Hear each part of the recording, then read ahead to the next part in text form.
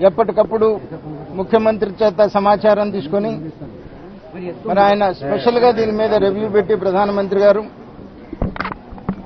ఈ ఇన్సిడెంట్కి సంబంధించినంత వరకు సహాయక చర్యలు ఏమి కావాలన్నా కూడా చేస్తాము అని చెప్పేసి ప్రధానమంత్రి గారు స్వయంగా చెప్పటం మరి మనం అందరం కూడా వారికి ధన్యవాదాలు చెప్పాల్సినటువంటి అవసరం ఉంది.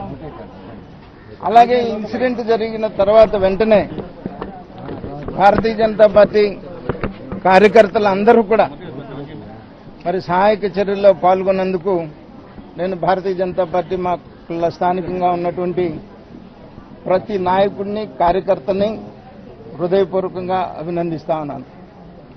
అలాగే నిన్న ముఖ్యమంత్రి గారు అనౌన్స్ చేసినటువంటి ప్యాకేజ్ ఏదైతే ఉందో నిజంగా అభినందించదగినటువంటి విషయం.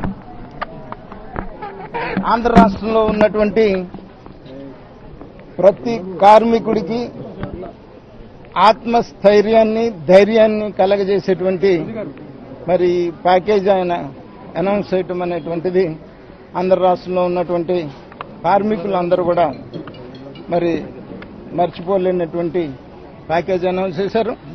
నిజంగా అభినందిస్తా ఉన్నాం. ఈ వీడియో కానీ మీకు నచ్చినట్లయితే లైక్ కామెంట్ షేర్ చేయండి. మరిన్ని అప్డేట్స్ కోసం సబ్స్క్రైబ్ చేయండి.